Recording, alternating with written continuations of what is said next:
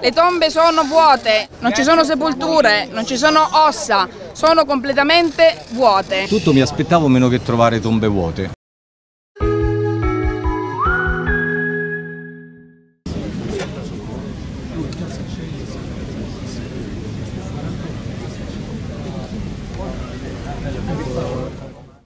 Le tombe sono vuote, non ci sono sepolture, non ci sono ossa, sono completamente vuote. Una cosa incredibile da questo punto di vista. Per cui eh, le operazioni adesso si sono concluse, una tomba in questo momento è in fase di richiusura, l'altra è stata disposta, eh, è stato disposto l'ordine di restare aperta ancora per qualche ora. Sotto una tomba c'era eh, una sorta di stanza, siamo scesi anche insieme al al dottor Portera eh, per andare a fare de delle verifiche, adesso dobbiamo fare ulteriori, ulteriori, ulteriori, indagini, ulteriori chiarimenti, il dato oggettivo è che non c'è eh, nessun cadavere sepolto in nessuna delle due tombe. Siamo tutti quanti, siamo proprio tutti quanti rimasti eh, diciamo, abbastanza meravigliati di questa cosa. La prima che è stata aperta eh, è stato scavato uno spessore di circa 30 cm pensando che ci fosse la bara invece c'è stata un'apertura, si è aperto un vuoto sotto,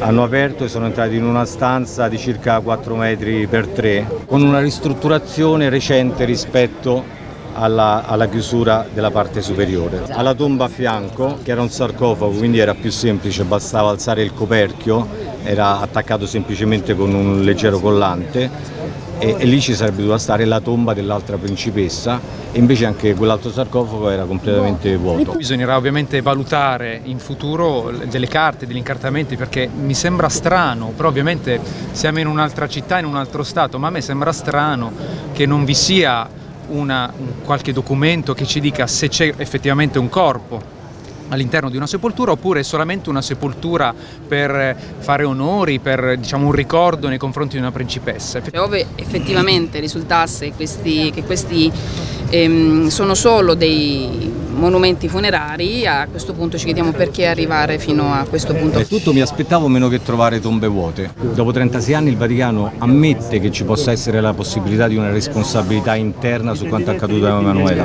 perché fino a una settimana fa loro avevano escluso categoricamente il fatto di essere di collaborare in maniera concreta e spero onesta quanto più possibile, vuol dire che eh, anche loro possono avere qualche dubbio ammettere questo perché se dal momento che apri per verificare se Emanuela sta là dentro vuol dire che il dubbio ce l'hai anche tu. Pietro qualche giorno fa, ricordando Emanuela, ha detto che chi tace è complice. Lo pensiamo tutti quanti. Sono passati 36 anni, sono passate tante cose, sono cambiati governi, ehm, sono cambiati papi, è cambiato tutto. È ora finalmente di dare risposte a questa famiglia. Ed è vergognoso, e mi prendo la responsabilità di quello che dico, che dopo 36 anni o per omertà o per paura o per utilità personale, chissà, perché c'è ancora eh, chi è vivo e sa, non metta a disposizione degli inquirenti le proprie informazioni per dare eh, finalmente giustizia ad Emanuela.